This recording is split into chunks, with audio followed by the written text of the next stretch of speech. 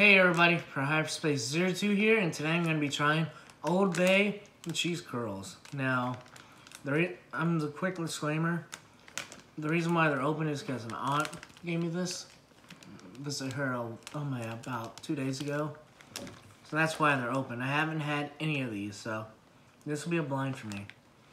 Now, it's about 150 calories per serving, 360 milligrams of sodium, 15 carbs, 1 sugar, 1 protein. Now, before I get into it, I think these are going to be like Cheeto Puffs. I haven't seen the inside at all, so... Now they're going to be... They're going to be the first ones to see it. Ooh. They definitely smell like Old Bay, I'll tell you that. They're a lot skinnier than Cheeto Puffs.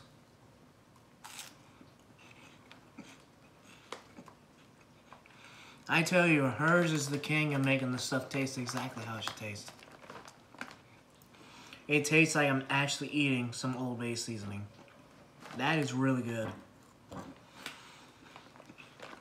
And I like how it's not as cheesy as Cheeto Puffs.